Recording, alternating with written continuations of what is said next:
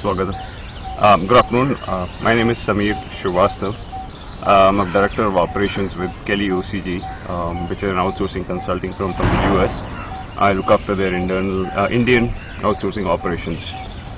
Uh, I'm here to sort of, you know, uh, discuss about my background and stuff. So basically, I've been learning martial arts for on and off for more than uh, 10 years now.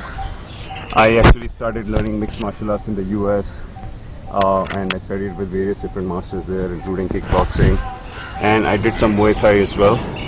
Uh, unfortunately, um, I was diagnosed with uh, Burkitt's lymphoma about uh, uh, four four years ago, and um, you know, it, initially it was here, and then it slipped into my spine. So I had a lot of issues with my legs. Um, after which, uh, you know, I started learning martial arts again about a year and a half ago.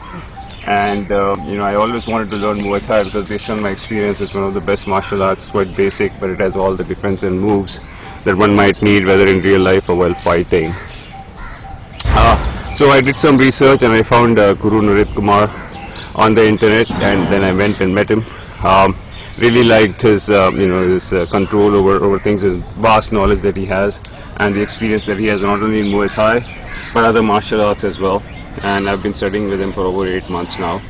And you know, it, because I had a lot of problems with my back, with my legs, with my knees, and fortunately, you know, working with the Guru Narender Kumar, I've had the benefit of having had im- improved the leg strength, my balance, my focus, and you know, I found this not only to help me in my real life, but also in other areas as well.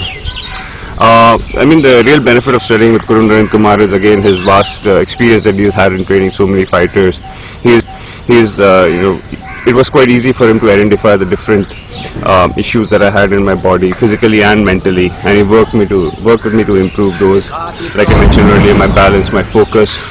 Um, I find myself being able to kick much higher than I could before, still maintain my balance, I have confidence in myself. I've really had great experience learning with him. You know, I've studied with many different masters in the US as well as the UK, and I can definitely tell you he is the best master I've actually ever studied with. And it's not only his martial arts skill, but his approach to life as well that I find quite enlightening. I look forward to working with him in the future. Swagatam.